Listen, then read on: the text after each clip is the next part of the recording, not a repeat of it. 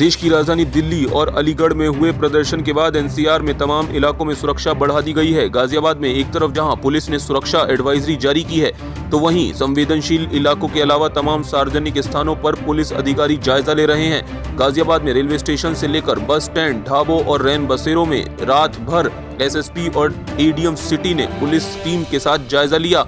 तमाम सूचना और मुखबिर तंत्र को अलर्ट पर रखा गया है और सोशल मीडिया पर भी निगरानी की जा रही है। अफवाह फैलाने वालों के खिलाफ भी सख्त कार्रवाई करने के आदेश दिए गए हैं। हमारे एस साहब, कई थानों का पुलिस बल ने मिलकर ये शहर में एक चेकिंग अभियान चलाया है और इसमें रैन बसेरे चेक किए गए हैं। जो लोग सड़क पर लेटे थे, उन्हें रैन बसेरे में भेजा गया है और इसके अतिरिक्त होटल चेक किए गए हैं, ढाबे चेक किए गए हैं और ये जो सेंसिटिविटी बनी हुई है, उसको दृष्टिगत रखते हुए ये चेकिंग की जा रही है और जनपद में सेक्टर जोनल स्कीम लागू की गई है। और उसी के तहत ये अभी आपने देखा रेलवे स्टेशन पर चेक की गई, बस अड्डे भी चेक किए गए। तो जो जनरल चेकिंग है, उसे की जा रही है और ये लगातार अलर्टनेस रखी जा रही है और आज भी उसी अलर्टनेस के तहत ये चेकिंग की गई।